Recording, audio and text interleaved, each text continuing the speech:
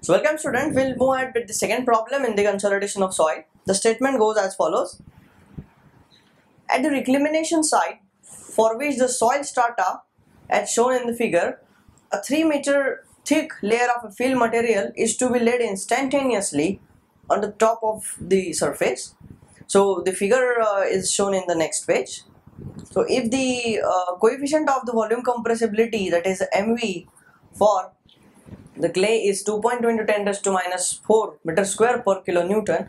Then the consolidation settlement of the clay layer due to the placement of fill material will be. And the options were given it as 69.5 139 228 and uh, 278 mm so they have asked us about to calculate uh, consolidation settlement or the ultimate consolidation settlement that the soil will experiencing so this data is uh, given as follows the initially the fill material was not present but initial strata was up to the silty sand and uh, the clay layer.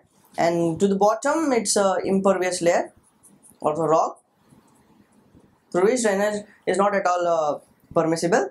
And for this particular strata they have placed this particular field which, of, which is of the thickness equal to 3 meter instantaneously which means uh, within no time or within very less amount of the time they have constructed this particular field and they have asked us about to calculate the settlement of the clay because of the placement of the fill. So initially remember the fill was not present. So uh, because of the construction of this particular fill material the clay layer is going to compress because this particular fill material will be spread over a large entire area which creates the uh, the stresses over that particular area uniformly so this was the stress which is created because of the placement of the field.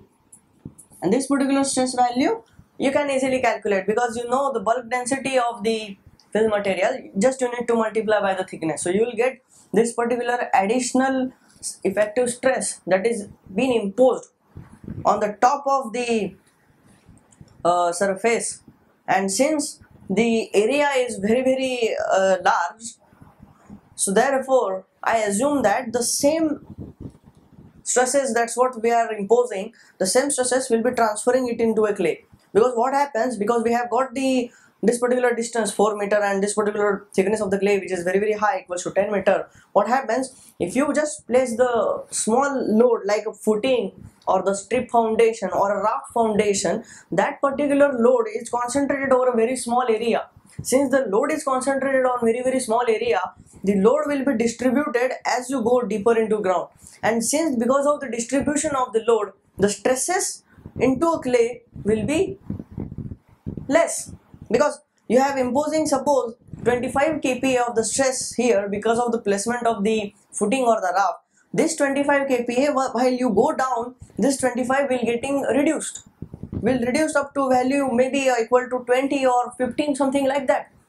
And that particular uh, the distribution of the stress we will be seeing in detail in this distribution of the stresses chapter. But remember this distribution of the stresses has got a very very important role to play in this particular consolidation settlement. And also we will see uh, the problems based on this particular area.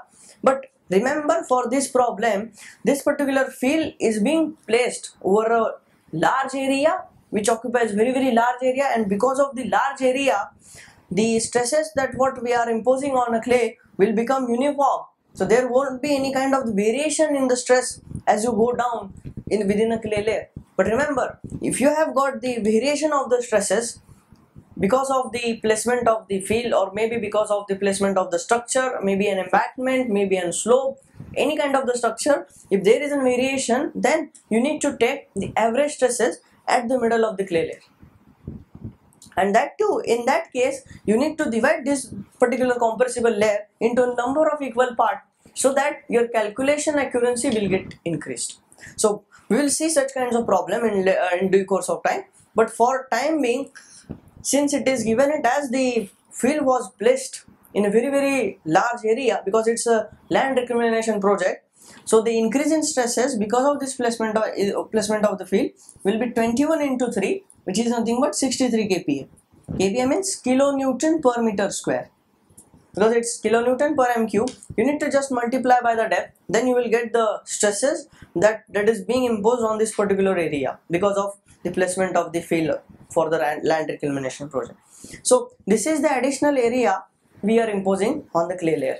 So because of this placement of this uh, particular uh, effective stress because of the placement of this field then what happens? There will be a change in the volume of the clay because of the escape of the pore water and that lead to the consolidation settlement. And the last thing is uh, about for us is the evaluation of the ultimate consolidation settlement of the clay layer because of this fill material. And the given data was only about pertaining to the coefficient of the volume compressibility.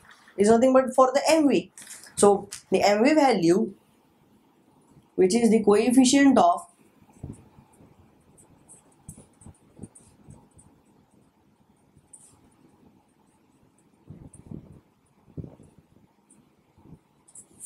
So that value particular is given it as 2.2 into 10 raised to minus 4 meter square per kilometer. We have given with this particular value of the MV and we have asked about to calculate the delta H or I'll call it as a primary consolidation settlement they have asked.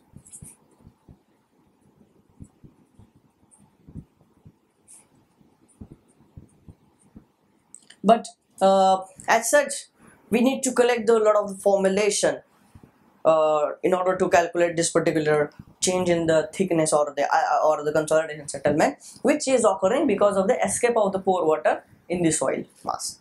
So if you recollect our previous uh, phase diagrams we have got with the only soil solids and the water in the initial part. This is before placement of the fill but after once you place the fill the volume of the soil solid will not change because it's they are incompressible.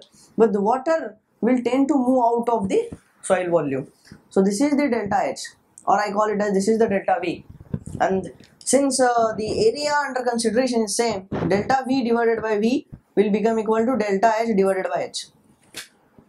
And uh, also you know that the void ratio which is nothing but the ratio of vo volume of void to the volume of soil solid. And also if you add 1 to both sides you will get V divided by Vs and uh, remember I consider it as the to be an initial void ratio E naught.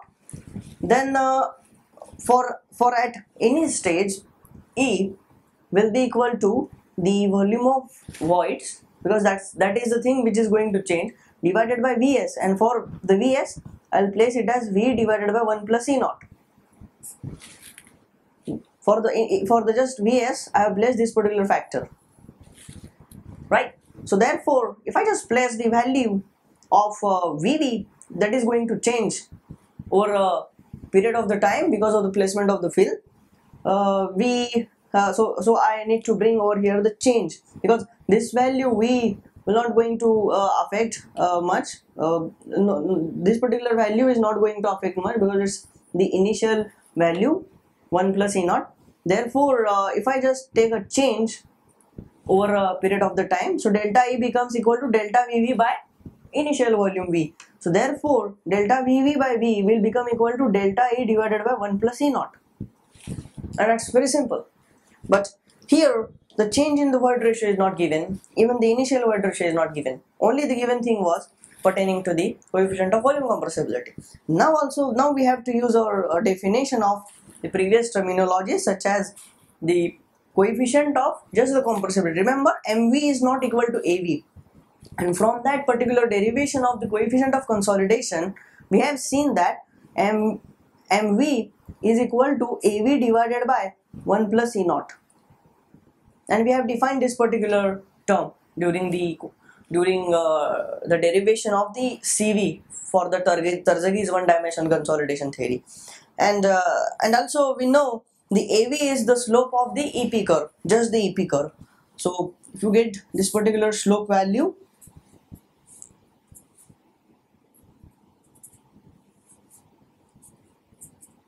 this is AV but if it is the E versus log P curve or log sigma curve any way you can call then this will become equal to straight line for normally consolidated soil. Then you will get the compression index equal to cc remember compression index for the curve in between E versus log P and that will be a straight line for normally consolidated soils. For over consolidated soils, it will be like this EP curve, E versus log P curve, sorry. It will become like this for over consolidated soils. For over consolidated slope is still less than that of the normally consolidated because this, this slope is for the virgin compression part of the uh, soil because the first time they are experiencing this particular part that means the somewhere here would be the pre-consolidation stress sigma c dash. And the stresses will be far less than the the stresses at which the soil is originally consolidated. That is the pre-consolidation stress. So these are the existing stresses so let's suppose. So then the soil will become more consolidated obviously. So our matter our concern is to find out the this particular relationship between the AV and the MV we know the relationship between sorry AV and MV we need to find out the relation between delta E and AV so AV will be equal to delta E divided by delta P right? So uh, just with the negative sign because as E is decreasing P is increasing. So therefore negative sign. Anyways the negative sign doesn't matter in this case. So uh, your you need to place this particular delta A by delta P in this particular expression. Here you need to place the value of AV which is nothing but the delta A by delta P. And you will get the expression as delta E by delta P into A plus E naught into MV so this up to this it's fine. So therefore then thereafter I bring the delta P value to this end. So that becomes delta E by 1 plus E naught equals to MV into delta P. So the delta E by 1 plus E naught as you know it is nothing but the delta H by H. So therefore the delta H by H becomes equal to the mv into delta p. So the h that is that is nothing but the thickness of the clay layer is known to you which is nothing but the 10 meters. So this is h which is 10 meter. The thickness of the compressible layer here it is clay. So therefore uh, you need to place it over here. So you'll get the consolidation settlement primary consolidation equals to the h 10 meter into mv value. Mv value is 2.2 into 10 raised to minus 4 meter square per kilonewton. Hence it's okay. This value is in meter square per kilonewton. This is in meter. And into the delta p delta p has to be in kilonewton per meter square. Then and then this unit will get cancelled and you will let, left out with the unit equal to meter.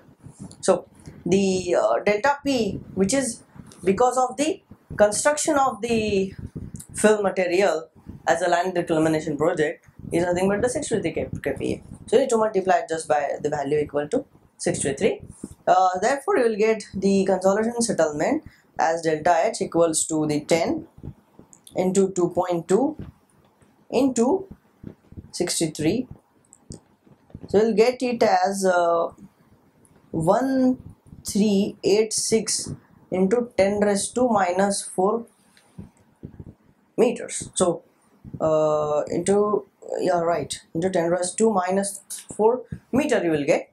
So in order to convert it in the millimeter you need to multiply by 10 raised to 3 so you'll get the consolidation settlement equals to delta h equals to 138.6 millimeter. Because if you multiply by 10 raised to 3 you're left out with, with only the 10 raised to minus 1 so it becomes 138.6 millimeter and uh, if you check out with the options that, that has been given with you for this particular problem is uh, for I think yeah you'll get the B option as the correct as per this problem and options are concerned. So it's 139 so this finishes the second problem. We'll move ahead with the uh, next problem. Thank you